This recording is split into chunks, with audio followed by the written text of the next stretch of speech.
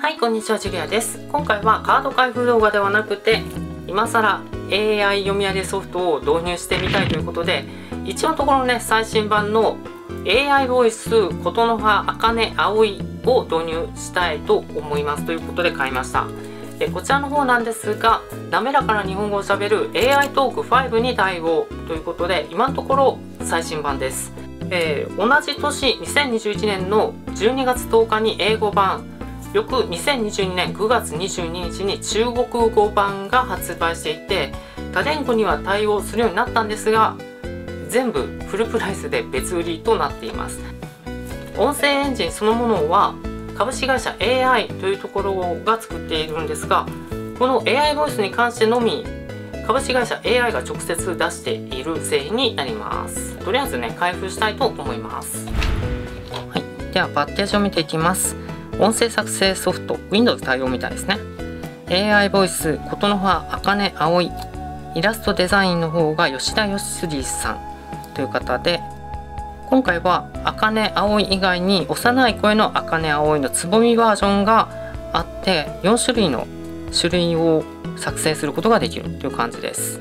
横面が AI ボイス琴の葉あかね葵 DVD ロムですね。まあ、AI ボイスに限らず琴の葉茜葵もともとのバージョンも声優の榊原由衣さんの声を元にして作られたボイスでキャラクターボイスを出すことができるという感じで詳しくは止めてみてください。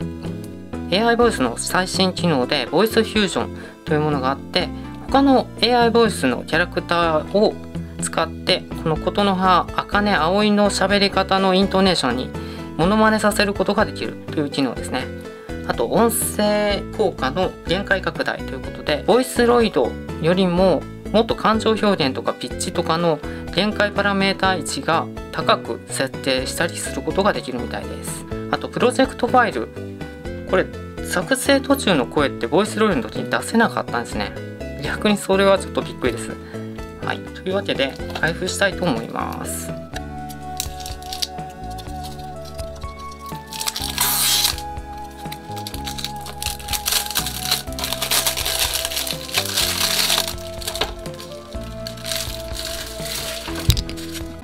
はい、シュリンクを剥がしました。見えちゃダメなものがあるかな？お、なんか入ってますね。アクティベーションカード。なるほど。こちらの方にソフトを動かすためのキーが入ってます。これは当てずに置いときます。DVD はこんな感じ。最近のなんか押し込むとパキって折れるタイプではなくて、昔ながらのやつですね。で、ユーザーガイドとインストールガイド。画面はないみたいですね。これは見開きになってるみたいです。使用許諾書って書いてますね。一応ね使い方と出していいところとかライセンスとかあるみたいなので気をつけながら使わないといけないみたいです。で中身はこれだけみたいですね。パッケージの裏側にこれが直接書かれてるみたいです。というわけで音の葉茜葵について、まあ、このソフトを使ってね、まあ、せっかくなので説明したいと思います。AI ボイスの琴の葉茜です。琴の葉葵です。2023年現在、琴の葉姉妹としては、最新の AI トークの製品なんやで。そうやな。とりあえず、私たちのプロフィールから見ていこうか。私とお姉ちゃんのプロフィールは、細かいところ以外は共通なので、こんな感じかな。私が、関西弁で、葵が、標準語で、一つのパックになってるからお得やで。誕生日が、4月25日になっているのは、私たちの製品が初登場した発売日が、2014年の4月25日だったからみたいです。まあ、めたい言い方やけど分かりやすいな。年齢は非公表。ちなみに、体重や3サイズも設定がないみたいやな。まあ、それは、乙女の秘密ということで、声は声優の榊原結衣さんで関西弁の読み上げにも対応したソフトは2014年当時では初やったみたいやな。製品パッケージなどのイラストは吉田義次さんが担当されていますね。じゃあ私たちに関連した製品情報を紹介していこうか。まず初代琴の葉姉妹の AI 読み上げソフトは2014年4月25日発売。ボイスロイドプラス琴の葉茜葵。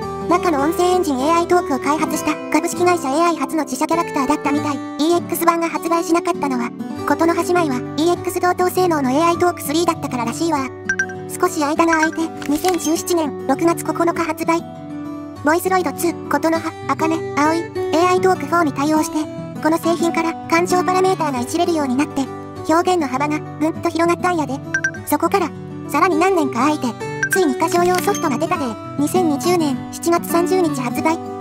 シンセサイザー V ことの葉あかね葵シンセサイザー V ではイントネーションに区別がなくて単一のデータベースだったみたいやわ。お姉ちゃんの関西弁の個性がなくなったのはちょっと残念だね。まあ歌えるようになったってのが重要なポイントやから。